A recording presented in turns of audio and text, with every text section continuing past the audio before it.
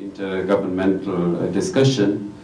We are, uh, as such, not here as experts in those respective fields, but we would want to recap a little bit how the transport aspect has been discussed in recent years and what are the issues currently under consideration.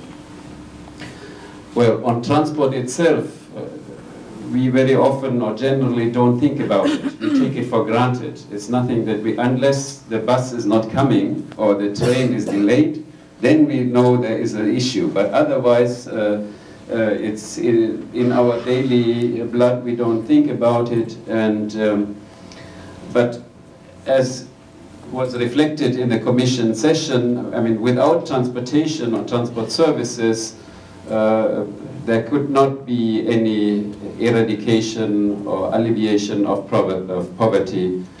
And so there is a common agreement that there is an urgent need for affordable, economically viable, socially acceptable, and environmentally sound transport systems.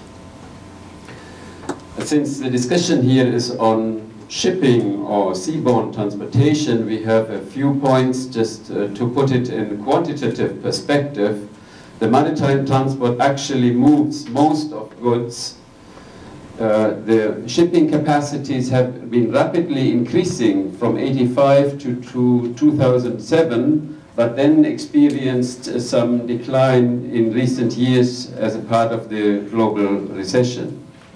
There is currently a total merchant fleet of large ships, say ships uh, uh with, excess, uh, with a capacity of more than 100 gigatons.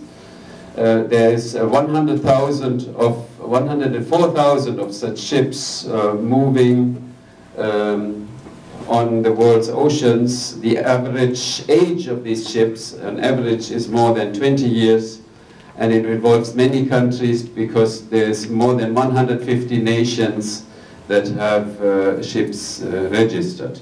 There's 1.5 million uh, seafarers employed directly on the ships and many more on land in the respective supporting service industries. Transportation, of course, is an important issue in the discussion on climate change.